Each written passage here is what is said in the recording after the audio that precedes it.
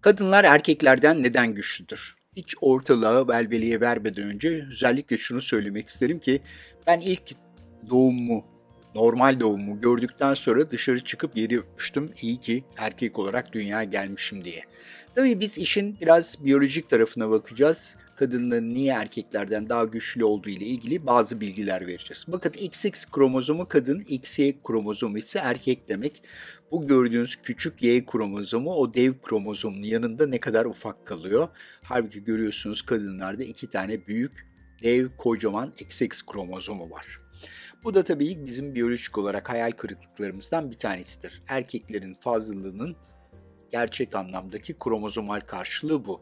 Fakat bu kadar iki büyük kromozoma getirdiği bir takım sıkıntılar da var. O da şu kadınlarda otoimmün hastalıklar daha fazla görülüyor. Bir de çok ilginç bir konu var. Kadınların güçlülüğü aslında anne karnından başlıyor. Çünkü özellikle kız çocukların plasentalarını inceledikleri zaman bu plasentada daha fazla immünoglobulin saptanmış erkek bebeklere göre. Ve aynı zamanda östrojen ve progesteron bağışıklığı daha çok güçlendiriyor. Yani sonuçta dişi kadın doğal tarafından korunuyor. Çünkü neden? Üreme ve neslin devamı için stratejik bir öneme sahipler. O yüzden her zaman için doğa onları kolluyor. Bunu böyle kabul etmek lazım. Onun haricindeki diğer konuları da bence çok fazla tartışmaya gerek yok.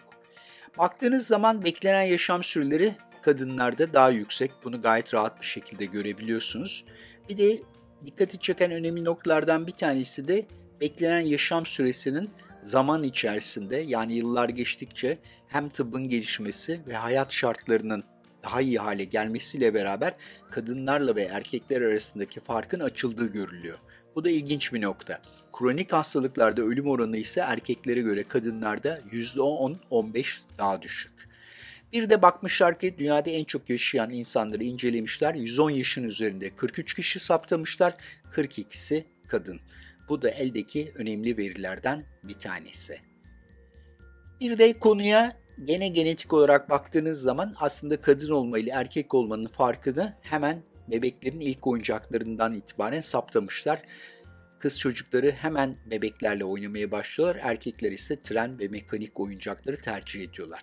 Bir de çok da ilginç bir konu var. Kadın atletler yaş ile daha az kas kaybediyorlar ve kas becerileri daha az kayboluyor. Bu da bence ilginç noktalardan bir tanesi. Yine kadınlar üzerine yapılmış psikolojik araştırmalarda kadınların travmaları daha çabuk atlattıkları, mantıksal çözüm becerilerinin erkeklere göre daha yüksek olduğu görülmüş. Bu da hani dişi kuş yuvayı yapar mantığının temeli.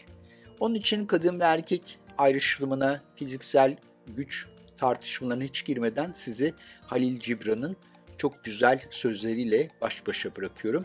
Kadın ve erkek birbirlerini sevdikçe ve saygı duydukça daha da güçlenirler. Teşekkür ediyorum. Görüşmek üzere. Hoşçakalınız efendim.